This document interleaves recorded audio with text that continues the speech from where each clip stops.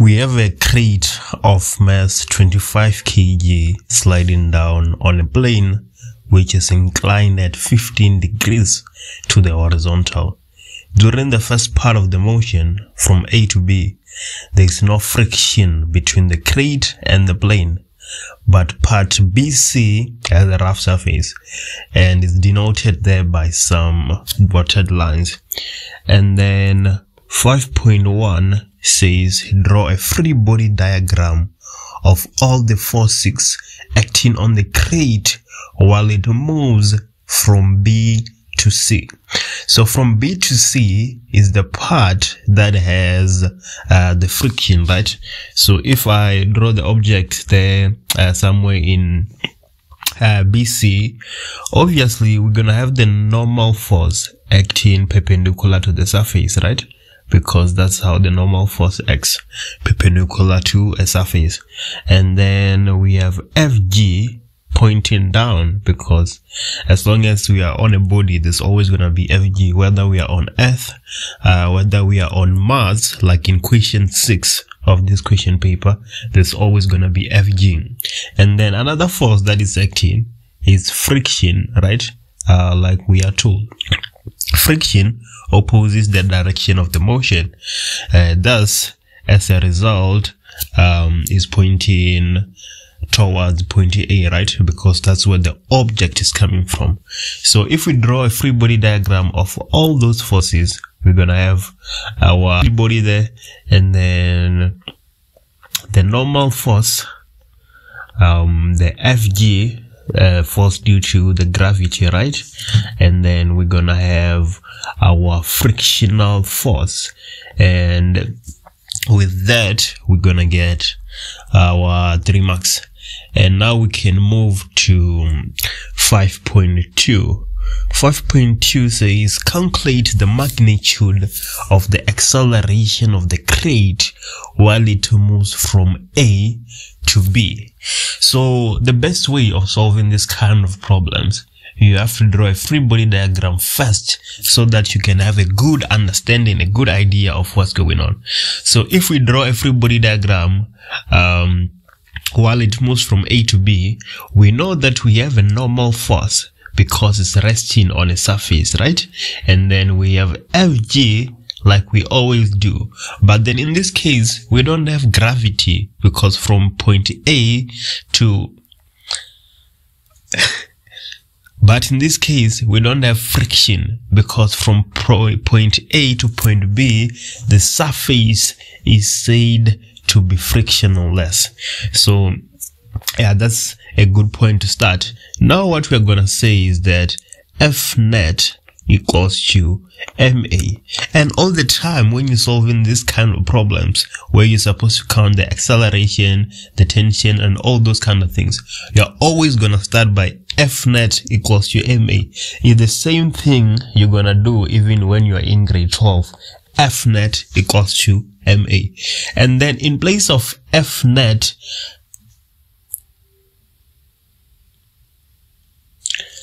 you put uh, the biggest force uh, that is acting on the body, right? And subtract all the small forces that are opposing the motion.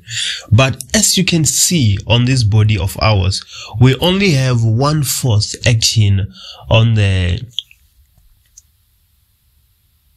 acting horizontally, uh, which is FG parallel, right? Because for FG, we're going to have FG parallel and FG perpendicular. So in place of F net, we're just gonna say FG parallel. If we had friction, then we're gonna say minus friction. And maybe if we had another box, um, connected to that box, we're also gonna have minus tension. But for this case, we just have FG parallel. So we're gonna say that this FG parallel is equal to the mass of the object multiplied by the acceleration. And then in place of FG parallel, we can put uh, the mass, right? Which is uh, 25 kg multiplied by 9,8 multiplied by sine of 15 degrees because this is this here is FG uh, 25 multiplied by 9,8 is FG, right? It's the mass multiplied by the gravitational acceleration.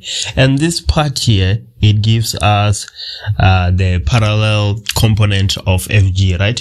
If we were interested on the perpendicular component, we, we, we were going to use cos. But then in this case, we are only interested on the parallel. So we are using sine. So this will be equals to, we know the mass of the object fully well, that is 25 kgs, right? So this will be equals to 25 and then multiply by the acceleration.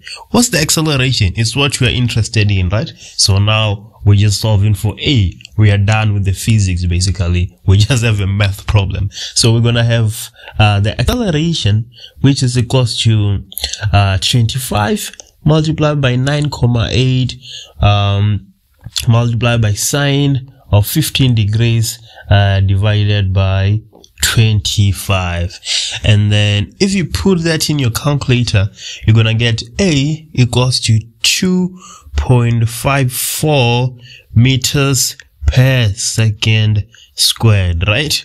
And then you get your 4 marks. And now for 5.3, it says write down the direction of the acceleration of the crate while it slows down from B to C.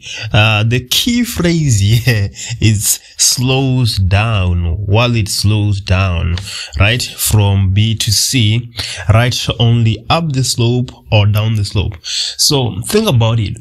If an object is slowing down, it has a negative acceleration or is decelerating, which is uh, a term we don't really use in physics. Uh, but then if a object uh, velocity is increasing or its speed is increasing, then its acceler the acceleration of the body is positive, right? Here, we are told that it is slowing down. So its velocity or its speed uh, is decreasing, right? It can only decrease if the acceleration is negative. And then as the object is moving down the slope, it only makes sense that if uh, the acceleration is negative, it is up the slope, right? So the acceleration of this body is up the slope. And then uh, for 5.4, it says um, we must uh, the magnitude of the net acceleration from B to C is 1.2 meters per second, right? Uh, per second squared. And then it says calculate the magnitude of the frictional force acting on the crate. So again, we know that the mass of the object is uh, 25 kg, right? And that uh, the acceleration is 1.2 meters per second squared. That's what they're telling us. And now we're supposed to calculate the magnitude of the frictional force acting on the crate. Do you have any idea how we're supposed to solve this? Yes, the idea you have uh, is right. Again, we're gonna say F net equals to MA. It's very rare that you're gonna solve these kind of problems and not use F net equals to MA. Like you're always gonna use this uh, formula. Because now we know that uh, from B to C there is frictional, instead of just having FG parallel equals to MA like we did, this time we're gonna have FG parallel plus minus uh, friction, right? Because friction is always opposing the direction of the motion. Uh, this is obviously equals to MA. This is our standard procedure. If you find yourself doing anything else other than this, you're doing something wrong. So what is FG? We know that FG is 25 multiplied by 9,8 and then the parallel component we're gonna multiply by sine of 15 again if we were looking for the uh, perpendicular component we're going to multiply by cos of 15 degrees and then minus uh, friction right? Which is what you are interested in. And this will be equals to the mass of the object which is 25 kg, right? Multiplied by an acceleration of 1.2 meters per second squared. And then, um, what you have to realize here is that we have to substitute uh, the acceleration with a negative sign, right? Of so that will give us minus 1.2. Why are we substituting it with a negative sign? Because in 5.3, we said that since the object is slowing down the acceleration, it's up the slope. So it's opposite to our direction of motion, right? If it's opposite to our direction of motion, we put a negative sign, just like we did with our friction. So we're gonna have minus friction is equals to 25 multiplied by minus uh, 1.2, right? And then we're gonna subtract uh, this whole expression here, right? So if we do that, uh, we're gonna get minus um, 25 multiplied by 9,8 uh, multiplied by sine of 15. So minus uh, friction will be equals to uh, minus 93.41 Newton.